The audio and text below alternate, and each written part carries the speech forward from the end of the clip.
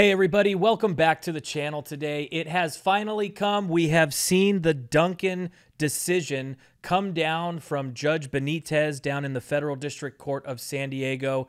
To talk with us through it today, we have brought on CRPA Volunteer President Chuck Michel. Chuck, thank you so much for being with us today. Hey, this is a pleasure.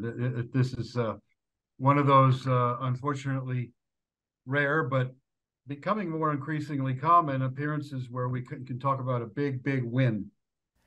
Absolutely. But before we get into that today, I just want to remind you guys it is helping. So please feel free, drop a like, drop a comment, and share this video. It really helps with the algorithms. We're trying to get this breaking news out to as many people as possible so that they can understand the legal battle ahead. So uh, Chuck, why don't we just get right into it? We we we saw the decision today, but for those who don't uh, who don't know uh, about the Duncan case, can you give us just the general? This is the case with its uh, also with its course through the court system. Sure. Well, let me say first of all, I'm coming to you from Phoenix, Arizona. Uh, I'm traveling today because I'm uh, speaking at the Second Amendment Foundation's Gun Right Policy Conference tomorrow. And so this is going to be great news to uh, start that uh, that that that meeting with. Uh, there's a couple of hundred people that are that are attending there, and so it's going to be uh, uh, big news tomorrow, and it'll get out across the country from there. I'm sure it's already being picked up by several of the uh, trade press. basically, Duncan is a challenge to California's ban on the possession of magazines that can hold over 10 rounds. Uh, and it, it's had a very long and uh, tortuous path through the courts. Started in Judge Benitez's courtroom, I want to say like five years ago. Uh, went up to the Ninth Circuit Court of. We won there that first time around using the Heller analysis, the analysis from the Supreme Court's case in Heller from 2008. Uh, that case went up to the Ninth Circuit to a three-judge panel and we won again in front of the three judge panel.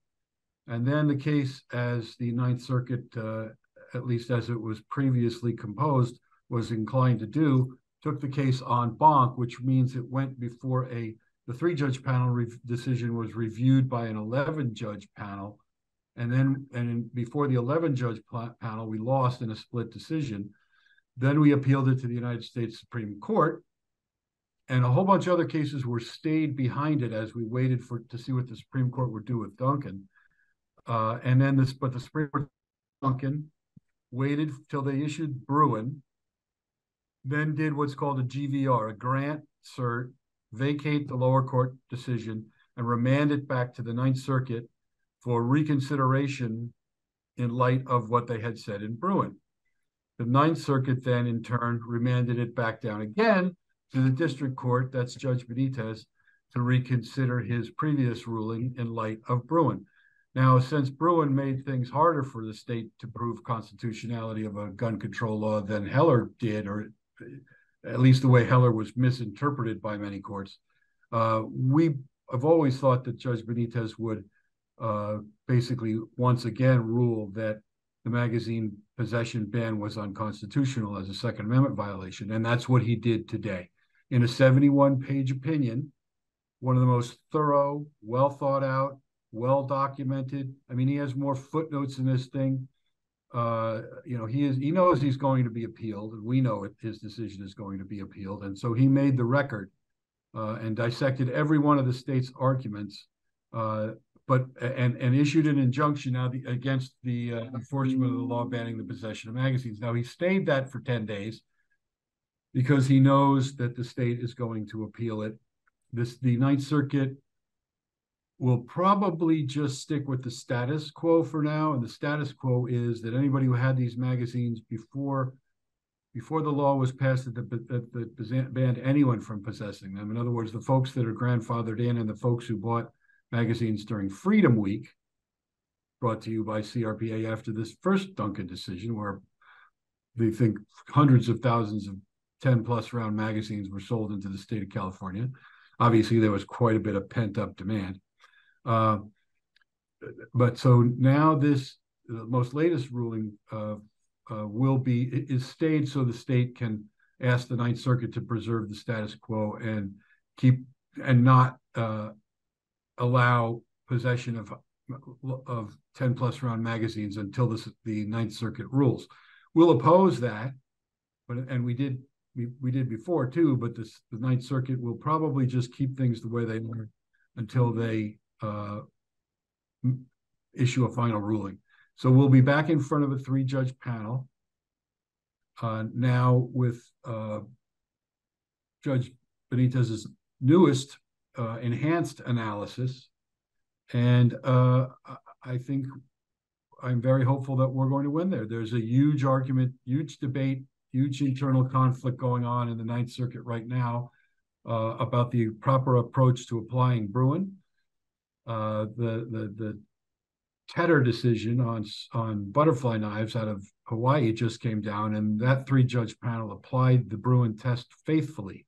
Courts are trying very hard. Some courts are trying very hard to kind of twist the Bruen analysis at the urging of uh, states and the, the the gun ban industry groups, you know, funded by Bloomberg and other billionaires that are behind them uh, to try and water down the Bruen test and, and make it easier to find a statute to be constitutional.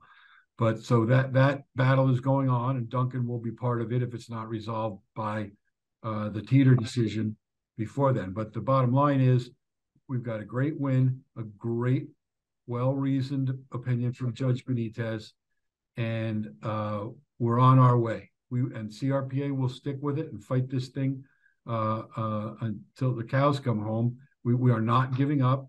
Uh, this is a scorched earth fight for all of our Second Amendment rights. We will also be submitting this opinion in a m- number of other states that have tried to jump on the uh, gun control bandwagon uh, and pass all kinds of vindictive laws, uh, retaliatory laws, frankly, to get back at the Supreme Court for their Bruen decision. A lot of states don't, well, not a lot, the, the battleground states don't like that. And so they've uh, uh, tried to really contort the Bruen ruling so that uh, and twist twist the Supreme Court's words. And Justice uh, Judge Benitez really set that straight, made it clear that you know the state's arguments were border on frivolous, to quote him. Well, I want to I want to retrace here because you did hit a couple of uh, pretty glaring questions that the firearms community had I mean, I, I also kind of get the sense that, I mean, this is just one of those lawsuits. It feels like it has the weight of the entire firearms community on its shoulders. Um, you know, starting back in 2016, going from the federal court, district court to the Ninth Circuit, Ninth Circuit en banc, uh, Supreme Court, all the way back down to get ruled on by Judge Benitez again. You said that he's he stayed uh, his uh, preliminary injunction, so he did grant a preliminary injunction, which is why the firearms community can celebrate today. I mean, the Judge Benitez, and uh, I guess through the lens of the Bruen decision, this decision did not change. We got the injunction. The original injunction brought us Freedom Week, but uh, today he put a 10 day stay. So tell me about that. Is that essentially saying the state has 10 days to appeal while also saying we're not getting another Freedom Week? The state had asked that uh, the state last time around was kind of caught flat footed they they didn't ask for uh, a stay as part of their motion.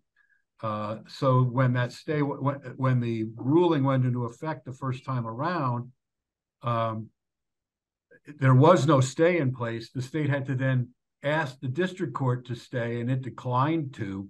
And then it had to ask the Ninth Circuit to stay, and the Ninth Circuit did. That's why between the time that the district court did not issue the stay and the Ninth Circuit did, we had Freedom Week.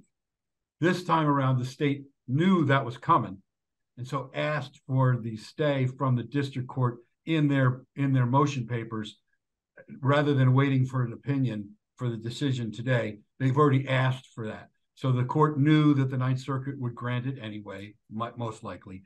And so it said, "You okay? You have ten days to ask the Ninth Circuit to stay this ruling beyond beyond ten days." So I mean, at the point that we're shooting this, I, I guess I, I don't want to expect too much. the The decision has literally been out for less than an hour. But you know, one of the one of the questions that I've had and, and I've talked about with a lot of people is, is is the scope going to how much is the scope going to change here? How much is Judge Benitez's decision, which I think the original decision on this case was something in the 80s. It was uh, 83 or 84 page decision.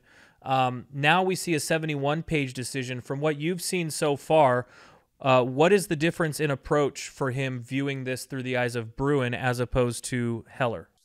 Well, he had to look more at his, historical laws. He had to, the Bruen the Bruen test clarified what the Heller test really was supposed to be, but it got all twisted uh, between the 12 years between Heller and Bruen because states tortured the Heller language, and some courts bought into that and got into this interest balancing test where you weigh the public's interest in public safety and the state's interest in regulating public safety against the individual right to keep and bear arms. And they, I won't get into the weeds too deep about how they distorted that test in Heller, but Bruen said that's not what you do. You do not have this interest balancing states versus individual rights interest. You you simply look at the language of the Second Amendment and you decide is the conduct that's being uh, ban- regulated, banned, uh, covered by the language of the Second Amendment, the right to keep and bear arms. So, semi-automatic rifles, magazines, whatever they are, those possessing those and using those is part of keeping or bearing arms. So that should be a simple test. They're already trying. The states are trying to twist that already.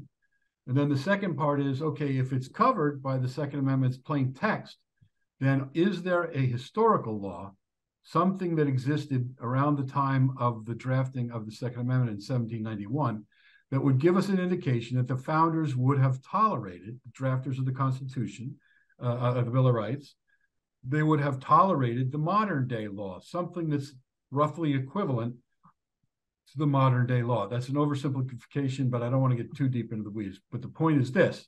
So to find out, to determine whether a a gun control law is constitutional or not, you have to look back at that history and tradition and see if the if there's any indication from a historical law that the founders would have tolerated the modern day law.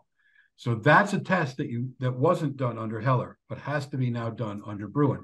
So that was all done as part of Judge uh, Benitez's decision uh, in the, the latest decision. It's a new new kind of analysis that Bruen now requires. Well, yeah, I can't wait to see, uh, you know, all the nuances as you know the team of attorneys, and I mean, you get the chance to read it yourself uh, and can kind of cross-examine the differences in in the way that the decision was written. You also indicated that you expect uh, the state to appeal. So, I mean, technically, right now, we don't know if the state's going to appeal. They have ten days to do so. Um, something that I've noticed, I mean, specifically with our Boland case, uh, specifically also with the Junior Sport magazine case you know, when you put into context that this lawsuit was filed in 2016, uh, things seem to be moving a lot quicker uh, these days, or at least it seems like they do. Um, do you have any set of expectations if it does get appealed? I mean, it, are all of these uh, lawsuits, which these courts have already kind of viewed but now have to view under Bruen, uh, do these timelines sort of speed up a little bit, or is it too tough to say? Uh, I wouldn't really say that they're speeding up. There are cases in different stages, and so some are further ahead than others. In the Ninth Circuit, you've got now Duncan. They will inevitably seek en banc review. You've got the the Hawaii butterfly knife case, Teter. You've got uh, our case, Boland v. Bonta, the roster challenge, uh, which was argued in front of a three judge panel, but we don't have a ruling yet. You've got the great win that we just got last week in Junior Sports v. Bonta, but that's more of a First Amendment analysis than a Second Amendment analysis about advertising for firearms rather than keeping or bearing one. Uh, but all of that stuff, there's this, there's still this battle going on about how what the right way to interpret Bruen is, right way to apply the Bruen standard is, and and that's going to have to be resolved, and that's going to be resolved fairly soon. And there's also, don't forget, the Rahimi case in the United States Supreme Court, which probably will set the record straight on some of that. So this is the division that you've got going on in the circuit courts, the courts of federal courts of appeal right now, between how do we apply Bruen? Uh, is there are there some arms that aren't arms that aren't covered? You know, they're saying magazines aren't really arms. uh, you know, what's the what does that textual uh, Second Amendment text really uh, cover? And then what type of historical analogs are acceptable and what aren't? What are relevant uh, historical laws that would indicate that a modern law would be tolerated by the founders? That debate, mo- most of that debate is going to be resolved fairly quickly. And once it is, I think then you're going to see a much faster uh, uh, pace on all of these cases across the country. By the way, keep in mind the the the cases that we're litigating in California, the the the, the states in response to Bruen have have passed a lot of uh, vindictive, retaliatory laws. Frankly, in many cases, to try and overwhelm us. I mean, it's no secret in the halls of the Capitol in Sacramento that they want to pass so many laws that we can't possibly sue over all of them.